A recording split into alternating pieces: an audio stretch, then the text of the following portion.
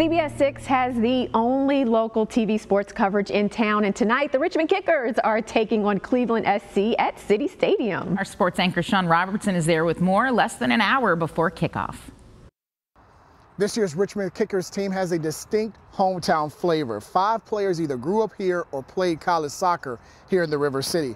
As our CBS 6 anchor Bill Fitzgerald tells us, they're ready to connect with fans all across RVA.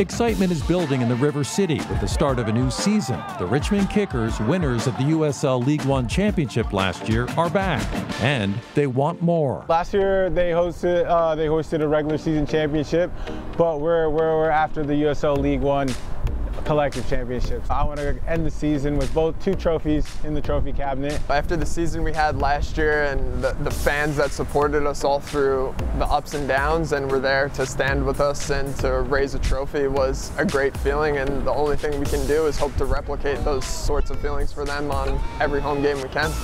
The Kickers are setting high expectations for themselves and know the fans at City Stadium share their hopes to go even further this year. But what's unusual about this particular collection of professionals are the deep ties to Richmond shared by nearly a half dozen players.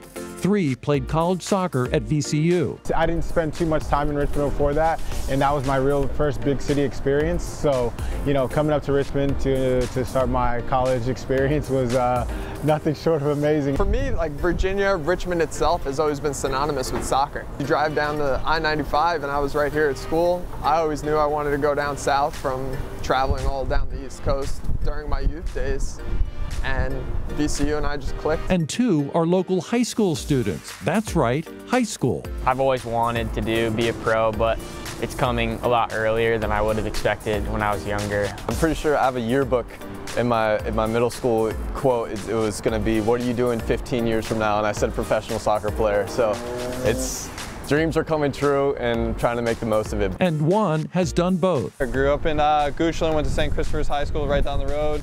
Um, played for VCU, so Richmond's in my blood. This community has made me into the player I am, into the person I am, and so every time I step on that, that field, I feel like I have a little extra something in terms of me representing this community. So when you come out to City Stadium, whether you join the Red Army in full-throated roar or not, look out for your hometown pros who know their fan base is second to none.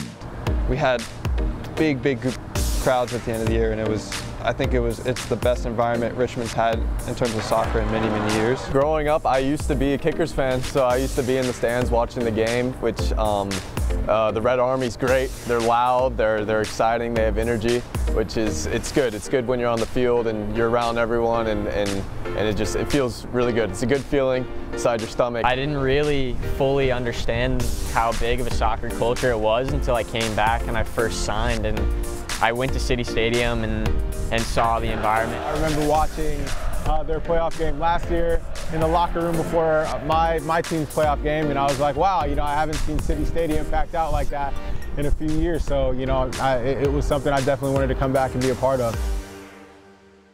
The five local players on the Richmond Kickers roster are the most since Darren Sawatzky became the head coach four years ago. Now, coming up later in sports, we will have a preview of Richmond's match in the Lamar Hunt U.S. Open Cup against Cleveland SC. Reporting from City Stadium, I'm Sean Robertson, CBS 6 News.